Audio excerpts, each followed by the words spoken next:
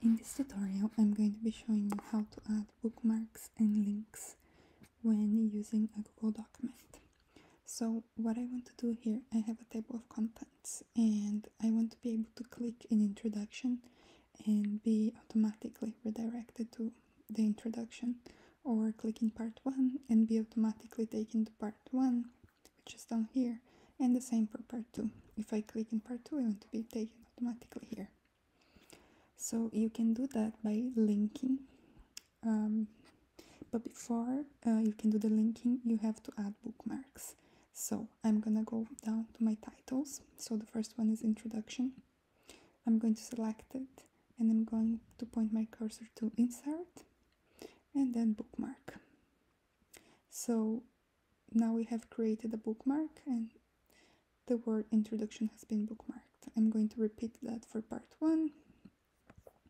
Select it, come to insert bookmark and I'm going to repeat it to the third title as well. Select it, insert bookmark.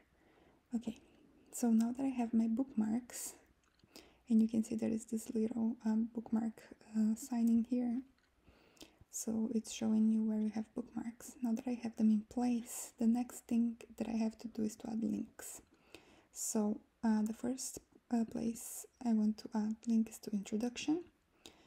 I select it and then I come here to insert.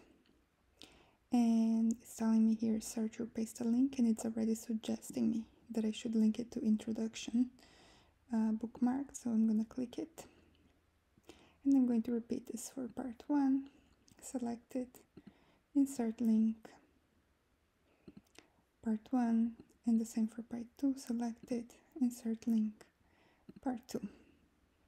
Okay let's try it. So I'm gonna click on introduction and it takes me down to the bookmark.